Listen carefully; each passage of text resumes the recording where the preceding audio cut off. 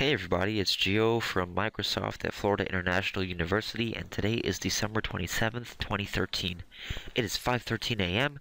and in this video I'm going to show you methods. So, I've set up the project so far in such a manner that you have the books from the variables tutorial and we have this text object uh, which is called timer text, but we'll just change it to title text because that's what I have in mind right now, and I'll describe that in a second so you're not too confused, right? So now we have title text, perfect. And I've centered it, which can be done by going down here. So I horizontally aligned it, and I vertically aligned it. And that means the text is going to appear in the center of this block of text. And I zeroed this out. So there's no events right now. There's nothing, and we're just going to get into it and we're going to talk about it, right? So generally, in programming, a method is something that allow it's a procedure that allows you to simplify a series of steps. So what I mean by this is usually when you're programming, uh, you would traditionally have to write out all of the stuff you would have to do right? And then you'd execute that logic.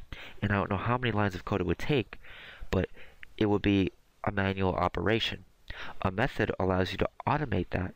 So instead of having to retype that code every single time, all you do is call that method and it does it for you. It does that procedure. So methods allow you to reuse code, one, and two, they allow you to save time by reducing um, the need to start from scratch. So they're very good for that. And I'm going to add a touch object to my project. So the touch object is down here in input, right? And generally in construct, you need input if you're going to test for anything, like straight up. Uh, so I'm going to insert my touch, and it's going to take three seconds. Uh, so the touch object is very handy in construct because not only does it register touch input, but it also registers mouse input. And you can change that by changing this property, which I would not recommend because not all computers have touch capabilities, right? Uh, but every computer should have clicking capabilities. So that is perfect. And we can now use this touch object in any case because it registers touches and clicks. Um, so I'm going to proceed to show you the methods of the touch object as well as other classes. So we have our book object, our title text object, and our touch object, right? So when you click the next um, button, when you're adding an event, which can be done by clicking add event, when you go to the next, these are methods. And in construct, methods are grouped. So you're able to see what category these methods fall under. And that's very efficient because it allows you to specify your search and know exactly where and what you're looking for.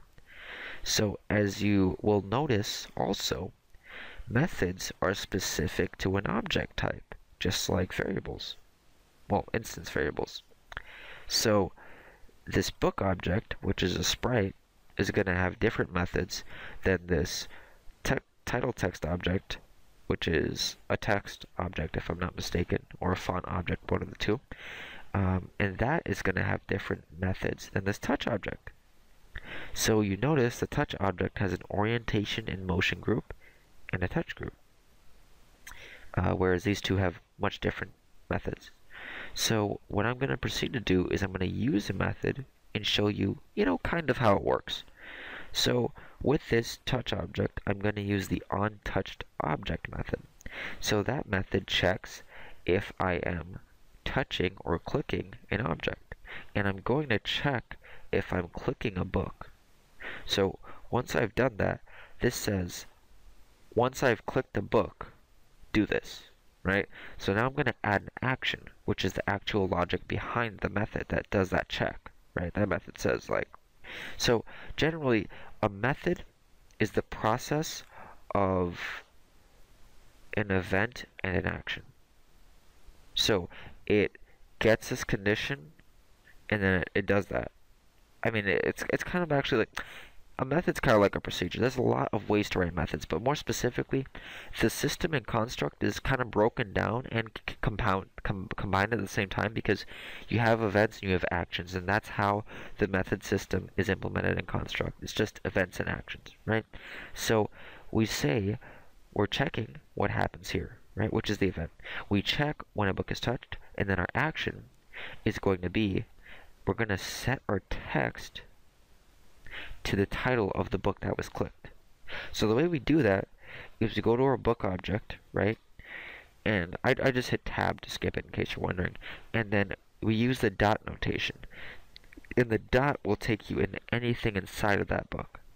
So what is inside of a book? Well, didn't we declare a method named title? Yeah, so we can find the title of a book. So if this was referring to no book, it will be blank because by default the the title is blank, right? Oh, sorry, I clicked the animation frames. Um, okay, so the initial value varies, right? But by default, we don't know what it's going to be. However, since we said on touched book, this says when we click a book.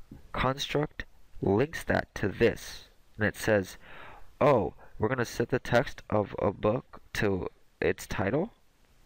Alright? Let's just do that with the book we touched.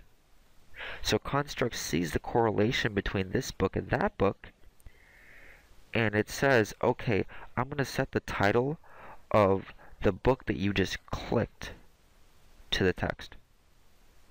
And I hope I hope you guys understand what I'm talking about. So I'm going to run it now and show you exactly what I'm talking about. Boom. So when I click a book, it does that. And that's it. So I hope you guys enjoyed the tutorial. Stay forward to stay looking forward to more videos. Have a nice day. Bye.